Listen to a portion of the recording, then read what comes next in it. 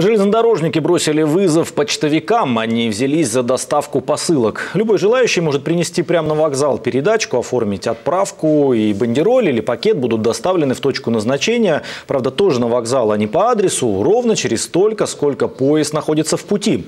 Горожане радуются и одновременно недоумевают. Идея-то лежит на поверхности. Почему раньше не сделали услугу официальной? Анжела Брик выяснила, что услуги этой действительно богатая история. Я беру вашу книгу. Мне нужно ее взвесить, чтобы узнать, какой вес у вашего багажа. Работница вокзала осваивает новую для себя профессию – почтальона. Дежурная по залу теперь еще и принимает посылки, которые может отправить с поездом любой желающий. Сделать такую услугу официальной железнодорожникам посоветовали пассажиры. Мы делали анкетирование на вокзалах и, в принципе, спрашивали у клиентов, что они хотят видеть нового в наш, на наших вокзалах. И вот эта услуга – это, в принципе, услуга, которую нам подсказали наши пассажиры, наши клиенты. Доставлять посылки железнодорожники соглашались и раньше, но услуга эта была неофициальная и нелегальная. Проводникам, которые помогали с пересылкой, грозило увольнение. Был случай, когда у меня напарница взяла все-таки посылку, а смена была моя дневная. То есть она работала в ночь, я работал в день. И все, и она как бы погрузила эти посылки, вот. И это заметил вагон ресторана, который находился рядом с нами. И все, и как бы пришли ревизоры. Я как бы это, попрощался с РЖД. Ну, хотя не брал сам посылку. Впрочем, несмотря на запрет, многим удавалось договориться, ведь это был самый быстрый способ доставки посылок.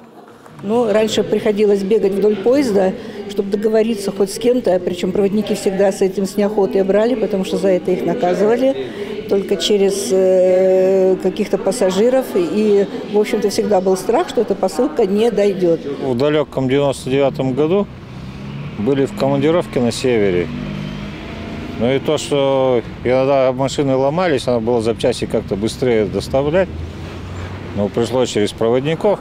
Работники железной дороги раньше выполняли обязанности не только почтовиков, но и интернета. Тележурналисты из разных городов так, к примеру, обменивались съемками. Отдавали эту кассету, записывали номер водителя. Если давал номер телефона, записывали его. Если нет, то просто госномер. Звонили в редакцию канала, который должен был получить съемки. Говорили, все, встречайте. И люди отсюда бежали на вокзал встречать эту вот заветную кассету. Соответственно, перегоном мы всегда не очень радовались. Посылки отправлялись на свой страх и риск. Предприимчивые граждане всегда опасались, что вещи не дойдут до адресата. Но теперь железная дорога обещает следить за передачками.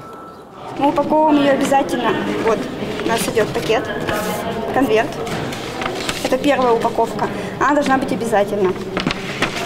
Она упаковывается, заклеивается. Здесь также пишется отправитель, получатель, все данные, точно так же, как вы мне продиктовали, я записываю. И станция отправления, станция назначения. Искать прибывший поезд получателям не нужно. Забрать посылку можно на вокзале. Пока услугу предлагают на 111 станциях страны, но скоро их станет больше. Анжела Брик, Алексей Богданов. Главные новости Екатеринбурга.